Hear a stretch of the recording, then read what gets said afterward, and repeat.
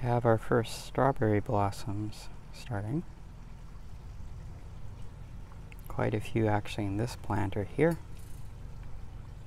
Gets the heat of the sun all afternoon, so I guess it's been pretty happy.